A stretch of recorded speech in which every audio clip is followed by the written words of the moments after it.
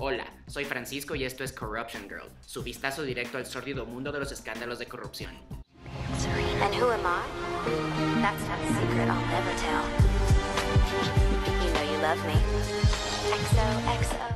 Si hubiera un cuento de hadas con un reino medieval y una princesa de la corrupción, no, no sería la infanta Cristina de España, sería Gulnara Karimova de Uzbekistán. Uzbekistán se hizo independiente en 1992 con la disolución de la Unión Soviética. Islam Karimov fue su primer presidente y se quedó en la silla presidencial hasta su muerte en 2016.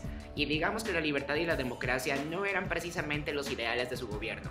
De hecho, más bien podríamos decir que la tortura, el secuestro, la matanza de disidentes, la persecución religiosa y el nepotismo intenso fueron las ideas principales de su gobierno. Islam Karimov tuvo dos hijas rivales, Lola y Gulnara. Lola es la hija trabajadora, es menor que Gulnara y se dedica a la filantropía, actualizar su Instagram y a ser embajadora de Uzbekistán ante la UNESCO en París. Gulnara, por otro lado, es la hija estrella.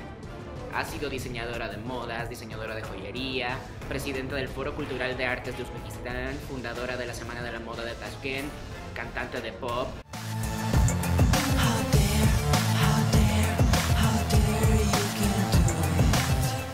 fue embajadora de Uzbekistán ante España y las Naciones Unidas en Ginebra. También es supuestamente dueña de hasta 17 mansiones y departamentos en 8 países y se le atribuyen hasta 3 mil millones de dólares en cuentas esparcidas por todo el mundo. Yo quisiera ser el tipo de persona al que acusan de tener 9 ceros en su cuenta bancaria. No está comprobado abiertamente, pero ha sido acusada recurrentemente de utilizar su influencia en el gobierno de Uzbekistán para ganar influencia sobre las operaciones uzbecas de empresas multinacionales, entre ellas la ocasión en que obtuvo acciones dominantes de Coca-Cola en Uzbekistán como parte de su divorcio, la vez que desvió recursos de la empresa petrolera suiza Zero Max para manipularlos hasta entregarles sus operaciones en Uzbekistán, y el periodo hasta 2009 en el que controló la única empresa de telefonía celular de Uzbekistán, Uzdunrovita, después de adquirirla hostilmente de sus dueños rusos. Hacer todo esto no es corrupción en Uzbekistán, porque Gulnara Karimova era la hija del dictador del país y nadie asumiría que Islam Karimov estaba gobernando por el bien de la sociedad uzbeka. Sin embargo, en 2013, resultó que una de las asistentes de confianza de Gulnara Karimova,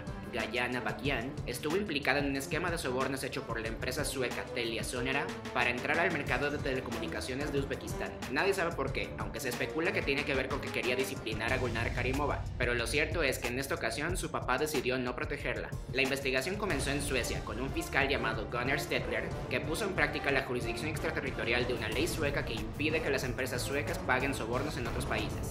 Si quieren saber qué es jurisdicción extraterritorial y qué tiene que ver con corrupción, pueden ver mi video sobre eso. En esta ocasión, la investigación de Stedler reveló operaciones financieras ilícitas ligadas a Karimova en al menos 10 países europeos, incluyendo operaciones ligadas a Karimova en Suiza a través de Gayan Abakian. Recuerden, Telia Sonera es de Suecia, donde empezó la investigación, pero las operaciones ilícitas fueron en Suiza, donde Gulnara Karimova era embajadora. En marzo de 2014 se le quitó su inmunidad diplomática a Gulnara Karimova. El gobierno suizo empezó su propia investigación sobre las operaciones de Telia Sonera en Suiza y Uzbekistán y se congelaron cuentas bancarias con alrededor de 910 millones de dólares pertenecientes a Karimova. Rápidamente, en esos días, una serie de tweets de Gulnara Karimova y una extraña entrevista con The Guardian revelaron que ella había sido obligada por su padre a dejar Suiza, que muy posiblemente se encontraba encerrada en una de sus propiedades de vuelta en Uzbekistán y que muy posiblemente su hermana Lola Karimova y un individuo llamado Rustem Inoyato, jefe de la policía secreta uzbeka, estaban implicados en su caída de la gracia de su papá.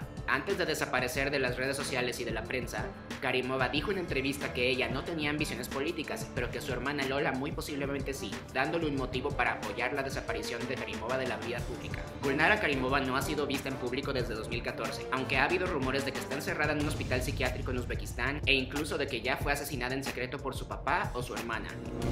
En agosto de 2016, Islam Karimov falleció y el gobierno de Uzbekistán tardó una semana entera en confirmar la noticia. La única miembro de la familia de Karimov que dijo algo en público al respecto fue su hija Lola Karimova, quien puso en su Instagram un cuadrado negro con la descripción: Nos ha dejado veo mis palabras y ni yo misma lo creo. En 2016 cerró la investigación en Suecia sobre las operaciones de Telia Sonera, pero se espera que la investigación sobre sus operaciones en Uzbekistán continúe. Sin embargo, eso tomará tiempo, durante el cual Gulnara Karimova sigue desaparecida y Lola Karimova sigue siendo embajadora de Uzbekistán ante la UNESCO en París. Hay una cita de Gunnar Stedler, ¿lo recuerdan? El fiscal sueco, que resume la situación de por qué la investigación ha tardado ya cuatro años. La corrupción es extremadamente difícil de investigar en un entorno internacional. Para usar una analogía, cuando se investiga la corrupción en Suecia es como vaciar una bañera quitando el tapón. En otros países es como vaciar la bañera a cucharaditas.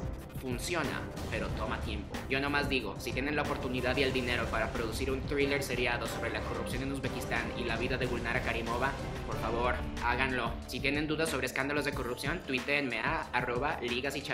Nos vemos a la próxima.